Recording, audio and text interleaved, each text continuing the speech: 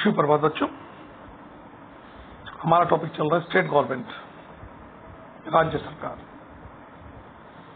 कल के वीडियो में हमने आपको लेवल्स ऑफ़ गवर्नमेंट पढ़ाए थे कि इंडिया में सरकार कितने स्तर पर कार्य करती है, सरकार के कितने स्तर होते हैं। फ़र्स्ट हमने आपको बताया था लोकल लेवल पर, स्थानीय स्तर पर। जिसमें ग्राम पंचायत।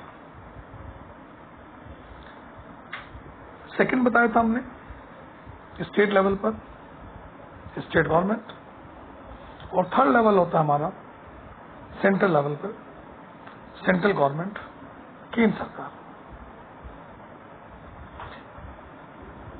अब बात आती है, जो आपका टॉपिक है टॉपिक में है राज्य सरकार के कार्य। कार्य को डिस्कस करने से पहले, इसमें टॉपिक ये भी है formation of state government formation of state government का ज़िक्र हम कल के वीडियो में करेंगे। आज हम उस फॉर्मेशन से संबंधित कुछ शब्द आते हैं उसमें, उनको डिस्कस करेंगे, जिससे कि आपको फॉर्मेशन में कोई प्रॉब्लम ना आए। पहला शब्द आता है जब भी कोई गवर्नमेंट बनती है, चाहे लोकल लेवल पे बने स्टेट लेवल पे बने सेंट्रल लेवल पे बने, एक शब्द आता है कॉन्स्टिट्यूंसी एक पर्टिकुलर एरिया होता है a particular area from which all the voters living there choose their representative.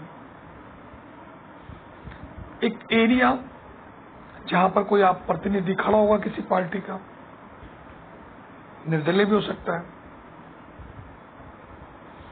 वहाँ के वोटर्स उसको वोट देंगे वो एक कॉन्स्टिट्यूंसी हुई स्टेट लेवल पर कॉन्स्टिट्यूंसी का क्षेत्र छोटा होता है सेंट्रल लेवल पे बड़ा होता है। इसमें एग्ज़ाम्पल भी दिया हुआ है, पंचायत वार्ड। पंचायत वार्ड का तो और भी बहुत छोटा होता है एरिया वार्ड मेंबर चुने जाते हैं। पिछले इलेक्शन में रुड़की में आपने देखा होगा। या एमएलए या एमपी चुने जाते हैं। तो ये कॉन्स्टिट्यूंसी एक शब्द है। एरिया जहाँ से वो व्यक्ति खड़ा होता है।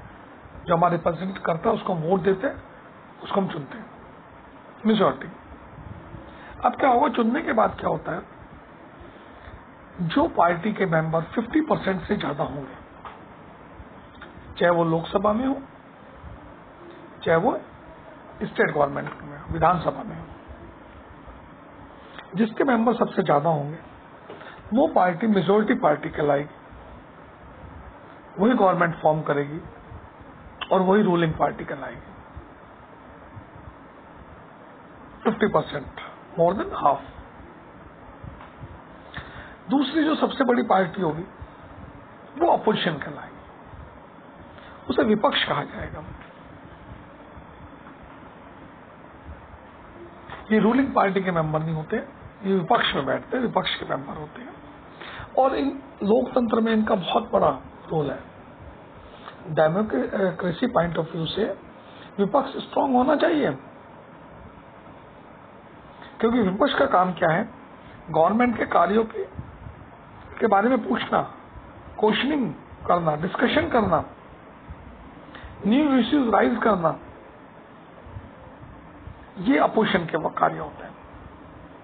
जो भी संसद में या स्टेट गवर्नमेंट में असेंबली में, विधानसभा में डिस्कस होते हैं।